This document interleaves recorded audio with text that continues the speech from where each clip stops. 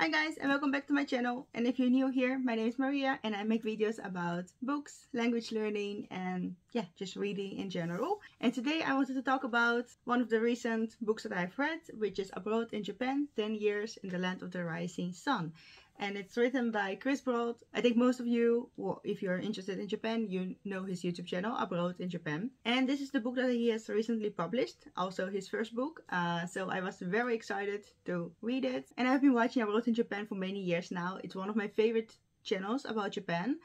Uh, I watched it before I went to Japan and I'm still watching it now and every time I learn something new it's it's very funny.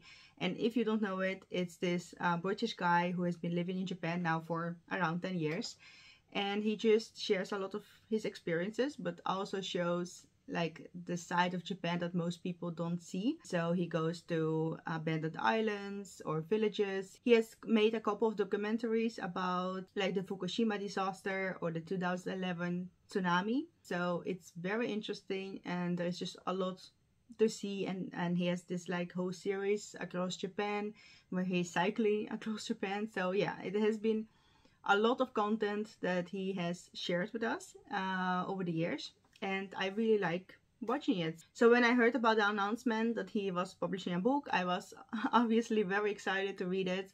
So when I could order it, I immediately ordered it and I think around in two weeks I have uh, read this book. So it's around 300 pages, uh, but it's uh, it's a quite a quick read. So uh, I'm, I'm a slow reader. I think you can read it in like a week, maybe even less. But yeah, I enjoyed every page on it. So I took my time and to be sure, if you like the Abroad in Japan channel, you will love this book. It's it's almost the same, only then in book format.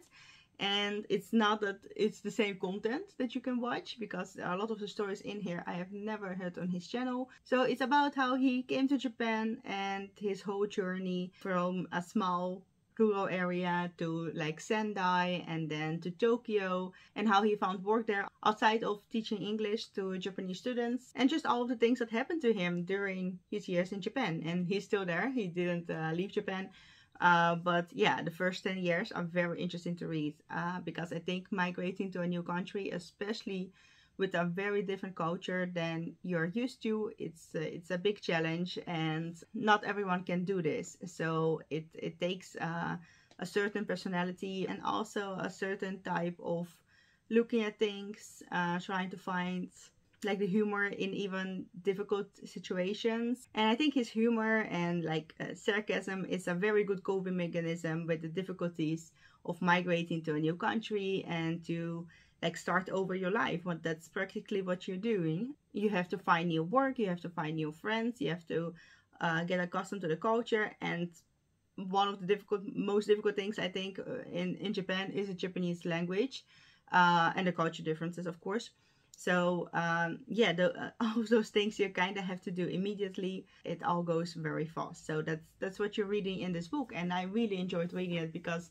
I only have been in Japan for three weeks, and even then I realized how a big a difference it is with the countries that I was used to. And I went into Japan with this like magical view of this amazing country and I'm, I'm still having this view. I, I love Japan and obviously I'm realistic about the fact that it's not a utopian country. It's uh, It has its problems but I still have a very positive view uh, on Japan but I think it's different when you just visit there of course for three weeks or even uh, longer um, compared to people that are living there, working there, especially with the working culture is very different compared to the West. It's quite hard as I understand and uh, that's one of the things that he writes about. But it's also um, but this book is also about making new friends. Uh, he has a chapter on how he had learned the language and the challenges with it. Um, so yeah uh, from the language learning perspective i found that one very interesting too and also very inspiring because after only studying uh, for one year he tried out the speech contest. Uh, obviously it was very difficult and way too soon after one year of learning Japanese but uh, yeah I, really liked reading about how he uh, studied for the contest and then how the contest uh, went. So um, yeah very interesting chapter. And most of the chapters here are very funny and just very nice stories about uh, awkward or interesting situations that he had encountered, especially like language differences and just communication problems with like his colleagues and how that led to funny situations. So I enjoyed that. But there are also very serious chapters in here. Uh, one dedicated to the 2011 tsunami, earthquake, tsunami, and then the Fukushima disaster. And the documentaries that he made about the people that survived the disaster and had to build their life up again. And also about other societal problems that are going on in Japan and are not a lot talked about outside of the like the Japanese society, of course. And throughout the chapters, there's also some cultural notes and historical like uh, facts that you can read. It's not too long, not boring, but just when it's uh, needed for the context, he explains some of the historical concept and how it led to certain things. So one of the things that uh, I found very uh, surprising in Japan was the lack of uh, trash bins.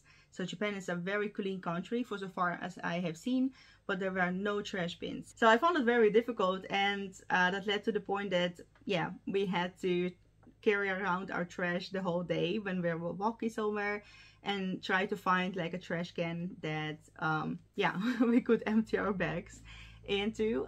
And I was always wondering about the fact why there are so few trash cans out there and I thought it maybe had to do with the recycling process because I knew they had like a very difficult throughout process of recycling things. But while I was reading it, he made a comment about it. As I understand, one of the reasons why there are so few trash cans is because of the sarin attack. Um, I don't know the year when it happened, somewhere in 2000s. And after this incident, uh, there were less trash cans. And I still have to read the book by Haruki Murakami about the sarin attack. Um, so yeah, maybe it will be explained more there. So yeah, all those kind of historical notes and cultural notes I found very interesting. There are a couple about like Japanese proverbs and how they relate to the society and to the view of like individualism and uh, community. So yeah, th that one I knew so some things about it, but uh, it was very nicely explained. So yeah, it wasn't just entertaining, it was also educational. And I would honestly recommend this book to anyone who is interested in Japan. It doesn't matter if you're preparing for your trip for the first time to Japan or you have already been there. But I do think that the best moments of yeah reading this book uh, is when you have been to Japan. So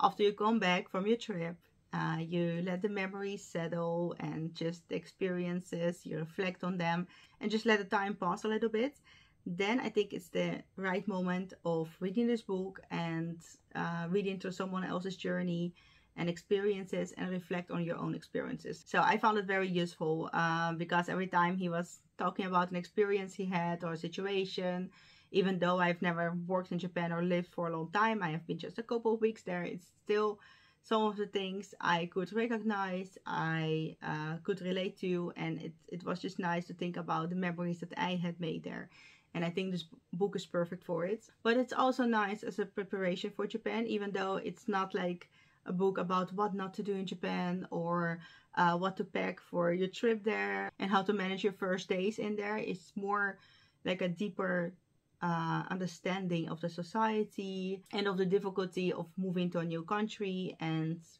yeah, trying to adjust to it. And that's one of the reasons why I love it. It's not your typical guide so it's it's more than that. And i was quite surprised by it because i i did expect to like the book because i really like his channel. And i thought well if it has the same jokes and the same vibe to it like this british sarcasm then i would probably like it but I didn't expect it to be so well written. Uh, so I was quite surprised because it is his first book. So I think he has given a lot of thought on how to manage the content, which stories to include and which uh, obviously not and also the stories flow into each other very nicely. Uh, we have this like chronological order from his first day arriving and then moving on to like 2022 so yeah 2022 and the last thing that I have to add is the cover I I really like it it's colorful and all of the like the important parts of Japan that we all know are in here we have Mount Fuji of course uh, the famous Torii gates, beautiful traditional houses, and on the back we also have the Mount Fuji. So in summary, it's a nice cover but great content and I think that's something to be very proud of as a writer. And uh, yeah, I would recommend reading the book, watching the channel if you're not familiar with it and explore Japan further. And of course, travel to Japan yourself if you can because that would make the whole experience even better. Let me know down below in the comments if you have read the book, what your thoughts on it are. And if you enjoyed this review, please like and subscribe for more reviews and uh, content about books. I will see you next time. Have a nice day. Goodbye.